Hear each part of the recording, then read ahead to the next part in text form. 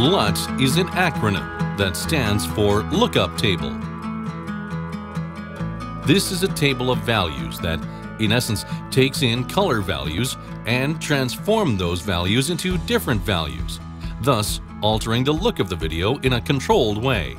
Some LUTs increase saturation, others increase contrast, while others change colors entirely. Most of the time they do a combination of these. With LUTs, you can improve the look of your video, map your video to the colors of the specific camera you used to shoot it, or to create a stylized look. In Vegas Pro, you can apply a LUT to the media, a single event, a track, or the entire project to achieve special color grading effects and custom looks. For this tutorial, we'll apply a LUT to the last event in the timeline with the LUT OFX plugin.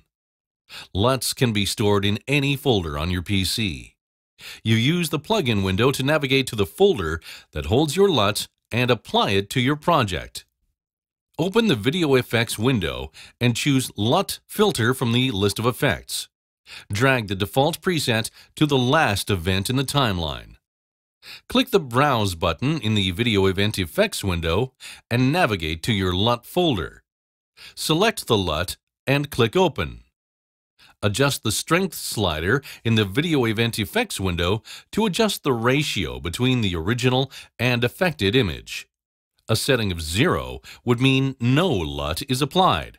A setting of 1 would mean you see 100% of the affected image.